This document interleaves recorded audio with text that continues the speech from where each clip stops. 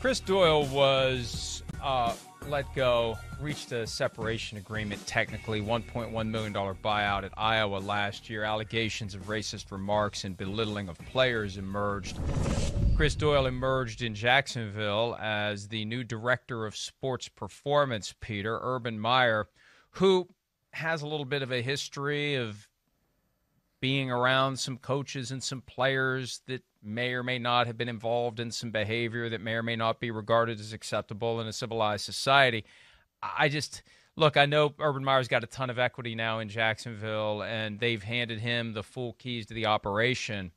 But but th- this this move is the first test for him. Not just making the decision, but how he deals with the decision, how he lives with it, whether he resents the criticism, how the organization moves forward. I was surprised by this because here's the thing, and, and I'm not saying that Chris Doyle should never be employed again in any capacity anywhere, but so soon after what happened at Iowa, for a job that there are surely plenty of other eminently qualified individuals, I don't know why the Jaguars and why Urban Meyer would would choose to make a move like that. And essentially put their hand right into the middle of the fire. You know, I agree, Mike. This is, uh, you know, if you asked all available assistant coaches at all levels, college, pro, uh, who had would have the chance to move, uh, either their team would let them out, their contract was up, they were unemployed, whatever it was. There's no question at all that everybody would have Urban Meyer very high on the list for a simple reason that Urban Meyer, unless he pulls a Nick Saban and quits after two years, Urban Meyer has got at least four years of equity built up there. He's not getting fired, even if he has two really bad years at the beginning, even a third bad year. He is going to be in that job for a little while, unless, again, he chooses to go. So, what does that mean? That means that job security w- is excellent if you're on the Jacksonville Jaguars coaching staff right now. So, if you're getting recruited by the Jaguars, you could say to your wife, hey, look, we're going to be there a while. We can put the kids in school. We can do this. It's a great place to live, great town, all that. And I agree with you, Mike. My first thought was that, first of all, not only will he get a lot of questions from people like us. But I wonder also if he's going to get questions from players on his own team. You know, word travels fast in the in the player fraternity and the coaching fraternity. Are you saying that I didn't even look at their roster? Are there no players from Iowa on the Jacksonville roster? Would they maybe not even consider choosing Iowa players in the draft? I mean, it's just it opens a can of worms that I don't understand why why it was open. Well, and the questions already have begun. We've got excerpts of the press conference during which the Chris Doyle questions did emerge and Meyer's responses. Here's some of it. Yeah, I've known Chris for uh, close to 20 years. Our relationship goes back to when I was at Utah, and he was the number one strength coach. And really, he he was doing sports performance before sports performance became. Uh, uh, uh, a high priority in in college sports, and so I've known him, I've studied him, uh, we've had a relationship. Uh, I vetted him thoroughly. Yeah, no reservations hiring him based on the allegations and, and what happened at Iowa, and, and why hire him instead of going in a different direction?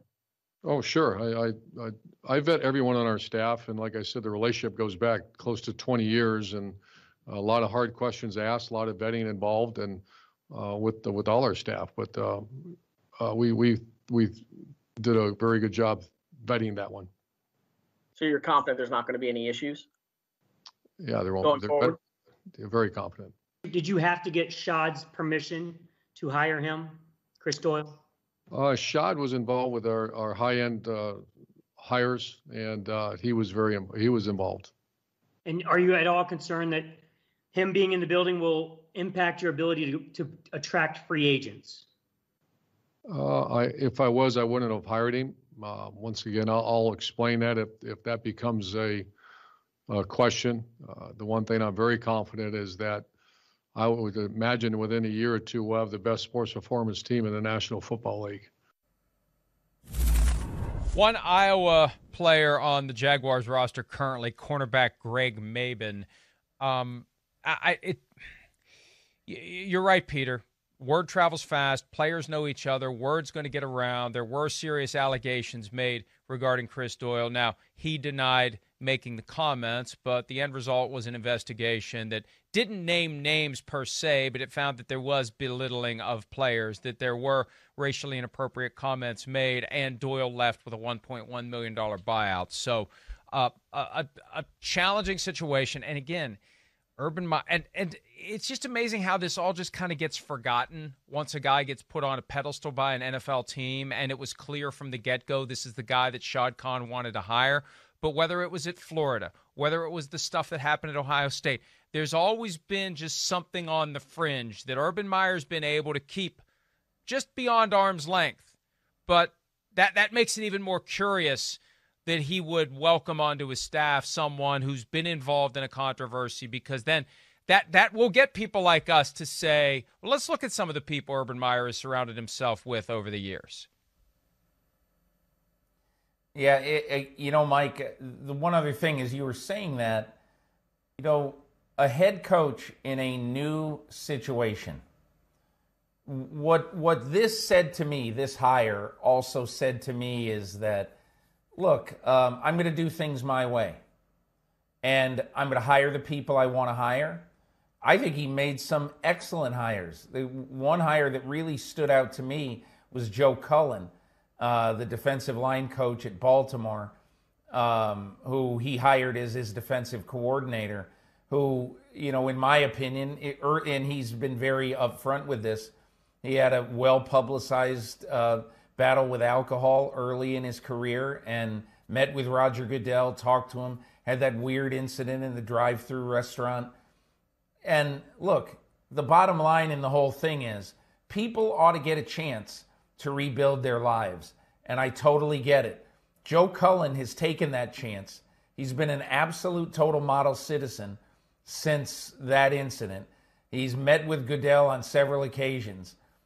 But this just really is different to me because this is very fresh in our memories. And, and as I said, so many people would be after this job.